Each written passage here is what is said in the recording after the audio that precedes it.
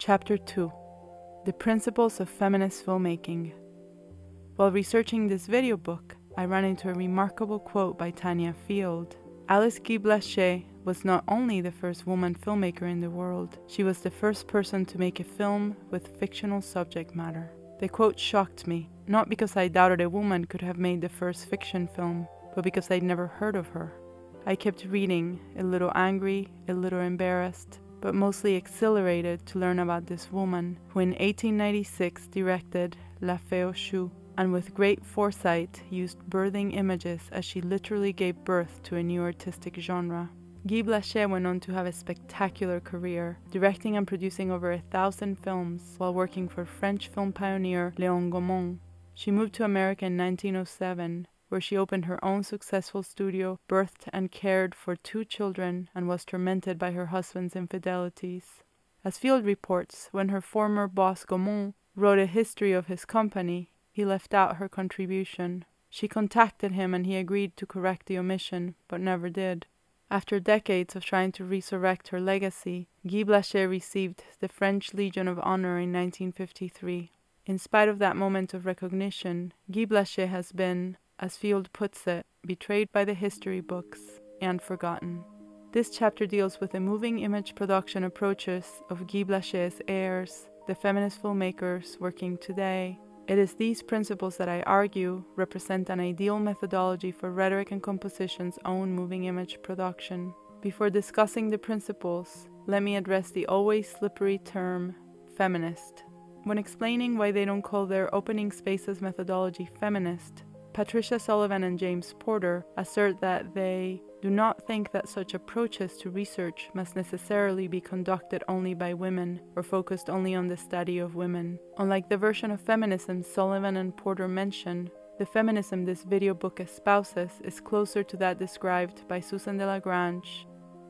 Feminism pays attention to equality and justice, to difference and empowerment, to access, to gender, but also to race, class, ethnicity, religion, ability, and other categories in which individuals or groups are underrepresented, misrepresented, or not represented at all. Although many feminists address gender through their work and activism, others are interested in fostering social justice in different areas. Not every woman director is a feminist. The term becomes particularly murky when looking at the past. Although some of legendary filmmaker Dorothy Arzner's films have what we read as feminist messages today, that does not mean that Arzner, who made films from 1920 to 1943, identified as a feminist. Equally problematic is translating Western versions of feminism to other cultures. As Beti Ellerson explains, Senegalese filmmaker Safi Faye never considered herself a feminist, but rather a woman affirming the rights and opportunities of women. Even though that definition fits some Western versions of feminism, Faye sees the concerns of Western feminists as unrelated to the specificities of African women. And yet,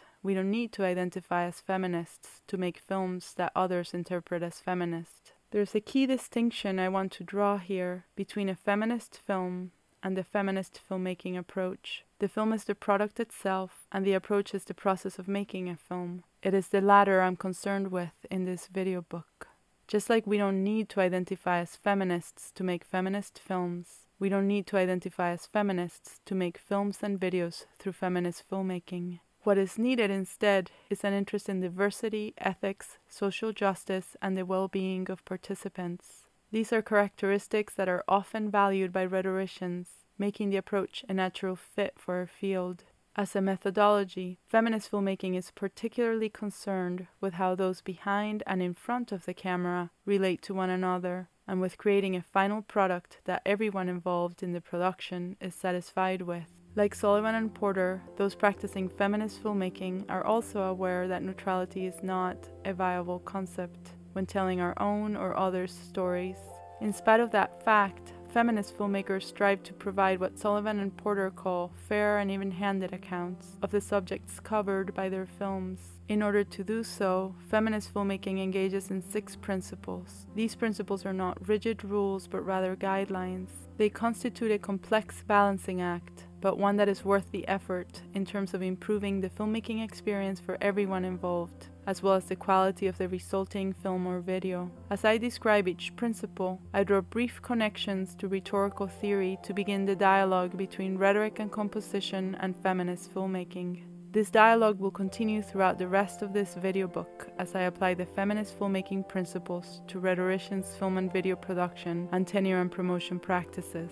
Now we're ready to define our first principle. 1 foster diversity in front of and behind the camera. Sullivan and Porter explain that the key principle of postmodern ethics is the call to respect difference. For feminist filmmaking, that call goes even further by asking filmmakers to foster difference by hiring crew members of diverse backgrounds in terms of gender, race, and sexuality. The same applies to those in front of our cameras. Feminist filmmakers want to tell the kind of diverse stories that mainstream media rarely provide for viewers. Chinese American filmmaker Valerie Soe explains The images of Asian Americans that I saw on television and in mainstream films were nothing like the people I knew in my family and my community. When working to fill that gap, she tries to create complex, nuanced characters like her own family. Creating better representations for our own diverse experiences is a strong drive for feminist filmmakers. Berlin based Namibian filmmaker Naomi Beukes-Meyer is working on a film series about African lesbians in exile.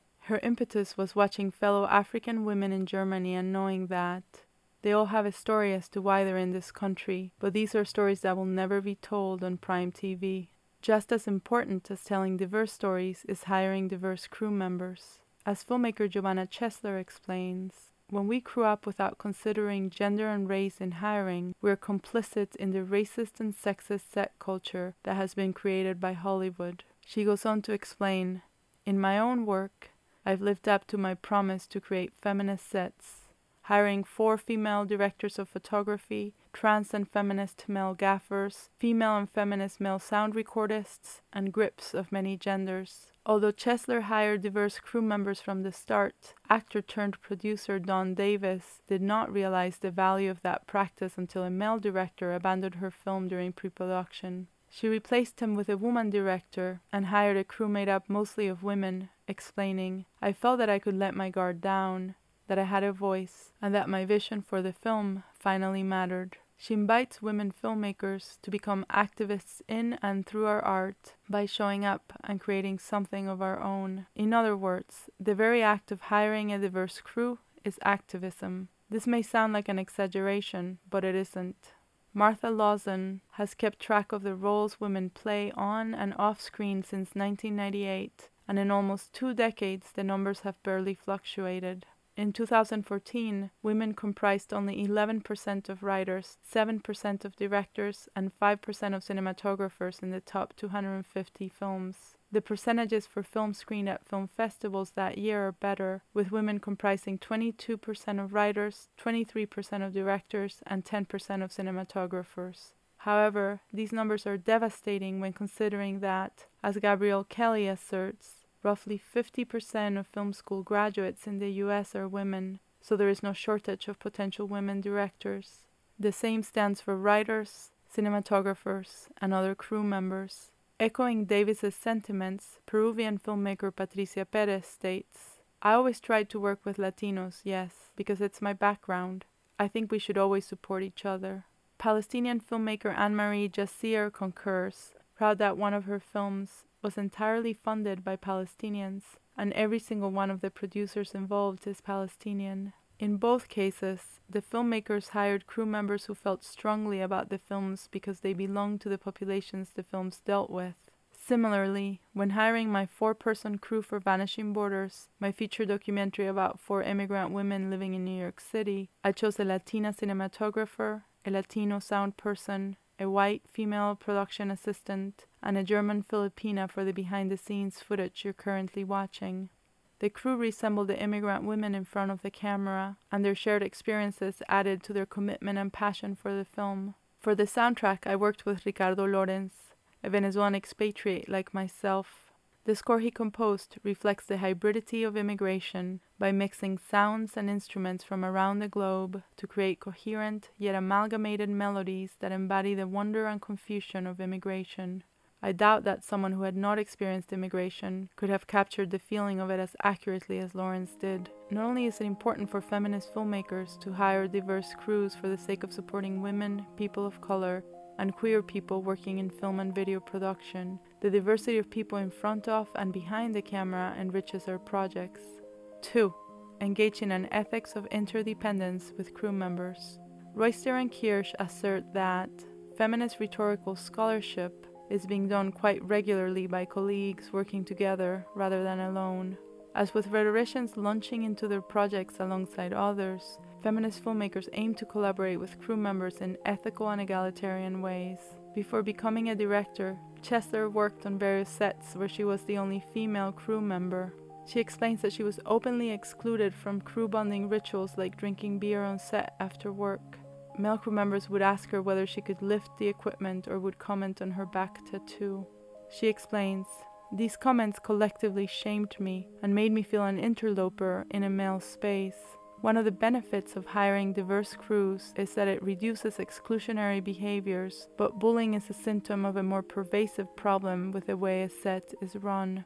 The solution can have a variety of names, but I like how Alison Hoffman phrases it when discussing the practices of second wave feminist, performance artist, and filmmaker Carolee Schneemann. Hoffman writes that Schneemann envisioned creating larger communities grounded in cooperation and equity. This ethic of non competition and interdependence carried over into the production methods of many women artists and filmmakers working during the 1970s. The ethics of interdependence encompasses how crew members relate to each other on a feminist set. Undoing hierarchies based on the importance of each crew member's position, feminist sets create an atmosphere of egalitarian collaboration filmmaker Mara Ravens writes, the efforts of every person are crucial and valuable. That hot cup of coffee at 4 a.m. may just be the miracle that lets you complete the last shot of the day. Even the most menial of tasks are valued through the ethics of interdependence. Filmmaker Marian Evans goes even further in valuing each crew member's contribution. For her film development, she used a principle she inherited from filmmaker Sally Potter Apart from some generous people who helped with catering, everyone was paid, and everyone was paid the same daily rate. Equal pay sends out a strong message that everyone's work is valued in the same way. It being my first feature film, I did not have funds to follow Potter and Evans when making Vanishing Borders. I did, however, provide food and transportation and created an environment that welcomed and valued everyone's ideas about the shape the film should take. Every crew member still needs to do their particular job, and in the case of a director, part of that job is to sometimes make decisions that shut out the ideas of others. Walking the line between valuing everyone's input and creating a disciplined set where things get done is one of the trickiest aspects of feminist filmmaking. 3. Engage in an ethics of interdependence with documentary participants. One of the key questions when it comes to research in rhetoric and composition is how the relationship with participants should unfold. Sullivan and Porter suggest that we contribute something to the betterment of the group or community we're studying. The question of how participants benefit from the experience also interests feminist filmmakers. While actors are often paid for their work, documentary participants traditionally are not.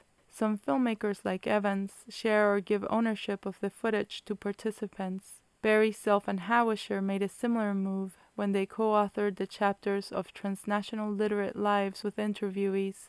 Arguing interviewees contributed at least as insightfully and fully to our research projects as we ourselves. Sharing ownership of a film can be complicated, especially if the project has been funded by outside investors who own parts of the final work. As a result, moves like Evans's are rare.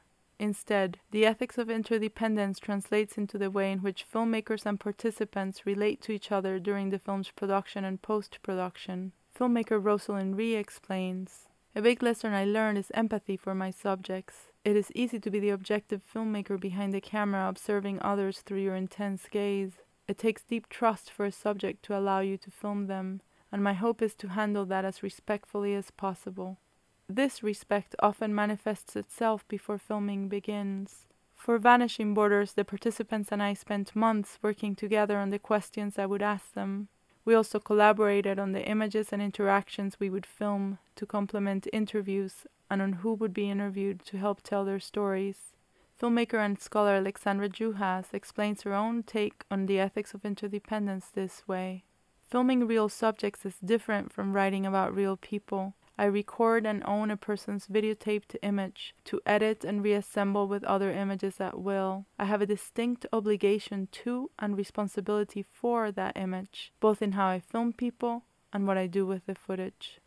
Like Juhasz, I am concerned with the ethics of editing, which is why Vanishing Borders participants watched and approved every draft of the film, providing input that I followed to make sure they were satisfied with how their stories were told. The key to my own documentary work is valuing the well being of participants over the final product. Michael Moore is a brilliant filmmaker whose work has made an invaluable contribution to bringing documentaries to the general public. However, his films are not feminist. When comparing Moore to Agnes Varda's The Gleaners and I, Virginia Bonner points out that while Moore's humor is based on mocking the at times unwilling participants, Varda's humor stems mainly from her discoveries of odd, unexpected connections, found objects, and delightful absurdities. A dog inexplicably sporting an enormous red boxing glove strapped under its chin, a lawyer dressed in full judicial regalia standing in the middle of a cabbage patch. There is no mocking in Varda's work, but rather a desire to understand where others are coming from. Such a desire, mixed with respect, is a key to the ethics of interdependence. The ethics of interdependence is hard work. As Evans explains, negotiating the documentation of real people's lives with love and care and meeting their needs as well as ours was exhausting. However, it is worth it. We cannot always share authorship with our participants, but we can make sure they benefit from the final product by having control of how their stories are told. 4. Practice mentorship. As Jackie Miller reports, Early women directors mentored fellow women. Silent film director Lois Weber nurtured the career of women technicians, while in Arzner's case, it was film cutter Nan Heron who facilitated her promotion to script girl and editor, while Arzner in turn taught actress Bebe Daniels editing. That practice has endured. Filmmaker and curator KJ Moore says her first job on a film set was a life changing experience I started out as a production assistant and ended up art director, and I've never had a job where I learned so much. Mentorship allows crew members to learn while working. Because of the ethics of interdependence, their creative input is welcome and can lead to them, like Moore, moving from one position to another. While making Vanishing Borders, our director of photography taught our production assistant how to set up lighting equipment, as well as how to light a set so both participants and background look their best. Although the production assistant received no payment besides food and transportation, she received invaluable knowledge. In a feminist set, filmmaking knowledge is shared between members, so that crew members leave the project with a stronger understanding of the different pieces of the filmmaking process. 5. Practice strategic contemplation. Royster and Kirsch discuss strategic contemplation as an approach to feminist historical research. They explain Strategic contemplation involves engaging in a dialogue, in an exchange, with the women who are rhetorical subjects. The subjects they're referring to are no longer living, so the dialogue is imaginary. Although some feminist filmmakers also draw from historical subjects, most work with living participants with whom we can have real conversations. While asking for clarification and requesting input is an important aspect of the ethics of interdependence, most documentary participants don't have the time to sit by our side as we edit and answer our questions. As we plan a project or edit footage, strategic contemplation can help feminist filmmakers take into account the needs and desires of those we're representing on screen. In order to represent others ethically, we must be aware of our own role as storytellers. Royster and Kirsch explain that strategic contemplation allows scholars to observe their own responses to what they're seeing, reading, reflecting on, and encountering during their research processes. Malea Powell employs a similar approach when she discusses feeling archival materials. She explains, I simply sit and think and feel in relation to the materials at hand. I admitted to myself a long time ago that part of learning to listen to scholarly elders was also learning to listen to myself, to my relatives, to the land. It is crucial to realize what feelings a story brings up and to be aware of those feelings as we decide what follow up questions to ask or how to edit certain footage. Ree explains that in order to make a film, you have to be comfortable being uncomfortable. So much of making documentary films is embracing the unknown. Even after the footage has been filmed, the uncertainty remains through the editing stages. Reasserts, Your story can go in so many different directions, and it is intimidating when you have too many possibilities to choose from. Like Ree, I found myself with a lot of footage, over 50 hours, for Vanishing Borders, and it took me a year to even begin to look through it. I needed time to digest some of the emotionally charged interview content, from one of the participants' childhood abuse to the death of another participant's daughter. Once I was able to find ways to make sense of my feelings about the stories and how those feelings could help me represent the participants, I returned to the footage. Even then, I took months off between drafts, thinking of ways to respectfully and ethically tell these stories while remaining true to the participants and to my own artistic vision. Ravens explains that for her, filmmaking sometimes feels very lonely, but this process of creativity opens up new frontiers that take me on a true adventure of discovery through the strangest, darkest recesses of my subconscious mind. Like Powell, Raven sees the creative process as being intermingled with her own feelings, through strategic contemplation, feminist filmmakers make sure that their feelings blend with the filmic stories they tell in ethical, thoughtful ways. 6. Address social justice. Unlike the previous principles, which are concerned with the process through which a film is made, this principle refers to the final product by requiring that it address social justice. Not only is social justice a key goal for feminism, but the five principles previously discussed help create the kinds of production and post production experiences that lead to rich social justice explorations in film. Kira Cochrane explains that based on her interviews with young grassroots activists, the term intersectionality seems to be emerging as the defining framework of the fourth wave of feminism. She interviews feminist Lily Evans, who asserts that intersectionality recognizes that people don't just lead one issue lives. All the ways that people are oppressed intersect with each other, and you need a movement that recognizes that. It is the sense that oppression based on race, class, sexuality, age, and or ability cannot be disentangled from oppression based on gender that inspires many feminists today to interpret battles for social justice of all kinds as feminist moves. Many feminist filmmakers today do work that tackles gender alone, but others address gender blended with other social justice issues, as well as social justice issues that do not overtly engage with gender.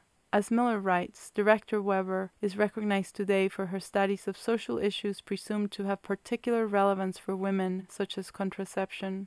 Like Weber, many filmmakers today tackle women's issues, like writing misconceptions about the female experience. Filmmaker Haifa Al Mansour explains It is hard to be a woman in Saudi Arabia, of course, but through my films, I want to show the world how strong the women are in my country. I don't think people realize how tough Saudi women are. For filmmaker Karen Skloss, social justice means making a film that helps high school girls reach the realization that no one can make you okay except yourself. Through her films, Beukes-Meyer tries to combat anti lesbian prejudice She's shocked that in ordinary, everyday city life it is still often frowned upon when two women are affectionate with each other in public. And her films tell stories that help viewers see lesbians as human beings who deserve the same rights as heterosexual couples. Just as gender plays a big role in feminist filmmakers' push for social justice, so do other issues. Filmmaker Daniela Daemi, whose work centers around immigration rights, film is about people we would never normally know about we may pass them on the street, but we won't know why they're here, what made them leave their home countries. By providing answers to some of those questions, Daemi hopes to create empathy for immigrants. Varda has a similar impetus in The Gleaners and I, her documentary about people who consume discarded food and objects. She says, When you see these people in the street, you don't look at them. My idea was to let them speak, to show that they have thoughts and feelings and intelligence. Varda's equal treatment of impoverished and bourgeois gleaners alike creates a connection among diverse people because they value frugality and resourcefulness. Like Daemi, Varda uses the richness of film's images and sound to give viewers a multidimensional sense of people many of us judge without understanding their motives. For feminist filmmakers, a work that humanizes an ignored or vilified population fosters social justice, as does rethinking the themes we value in storytelling. New Zealander filmmaker Robin Laing asserts that Many women filmmakers are saying that the big things in life, such as war and violence, have been overvalued, and the small events that create the true texture and value of life have been undervalued. Through these details, feminist filmmakers tell stories that value alternative ways of engaging with each other. As Heidi Honeycutt explains about Varda's work, the small interactions and details, the banal elements, always take the audience and the characters on a greater journey to more substantial themes like love, freedom, death, and happiness. While some feminist explorations of such themes focus on how others experience them, many filmmakers like Lisa Cholodenko and Jane Campion wrote openly from their own lives. When discussing Omar Ree, her documentary about her mother's suicide, Ree states, by opening up the lines of communication through a creative process, my sisters and I realized just how traumatic our mother's death was, and that we all shared this experience. We did not live with this pain alone. While the film's ability to get the audience to think of topics like suicide and sisterhood in a new light is important, its powerful effect on the women it features is as valid in making the world a better place. The number of people affected by a film is not important to feminist filmmaking having a small audience who are profoundly affected by a work constitutes a success. Not only is the number of people affected flexible, so is the approach one takes to fostering social justice. From the overly political, like Weber's defense of contraception, to the very personal, like Ree's story of her mother's suicide, feminist filmmaking tells stories that change the world in a rich variety of ways. Now that I have explained how the principles of feminist filmmaking work, I will spend the remaining chapters addressing how they can help rhetoricians produce ethical and engaging films and videos, and how to argue for that work's value for the job market, tenure, and promotion.